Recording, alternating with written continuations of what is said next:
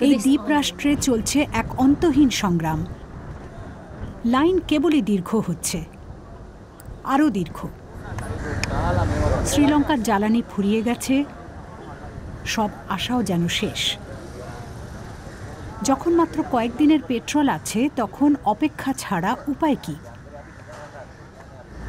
লাইনের একদম সামনে দাঁড়িয়ে ট্যাক্সি চালক আজীবান। আপনি তো সবার সামনে কত সময় ধরে অপেক্ষা করছেন? দুদিন ধরে। আমি আমার ট্যাক্সিতে ঘুমাচ্ছি। কখনো খাবার আনতে যেতে হয় আবার ফিরে আসি এখানেই ঘুমাই। গত কদিন এভাবেই চলছে। যদি জ্বালানি তেল পাই তবেই বাঁচা সম্ভব।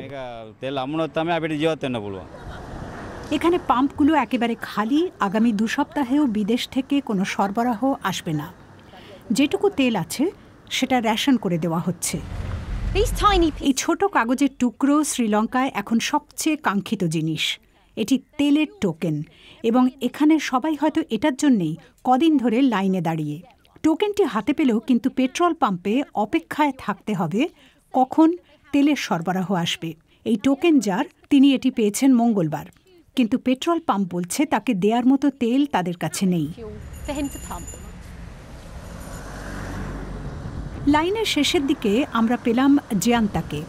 তেল পুড়িয়ে তার গ্রাম থেকে এখানে এসেছেন আরও জ্বালানির আশায়.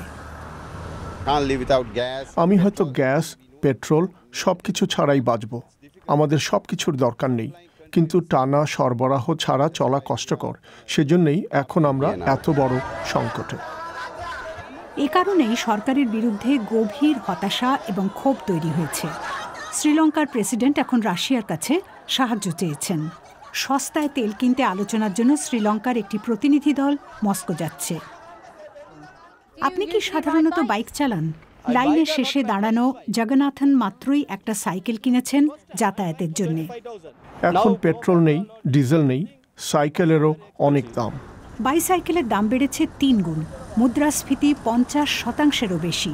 শ্রীলঙ্কার অর্থনৈতিক সংকট আরও খারাপ হচ্ছে। অবস্থা ভালো হতে তাদের আর কতদিন অপেক্ষা করতে হবে? রুজিনি ভাইদিন আলদন বিবিসি নিউজ কলম্বো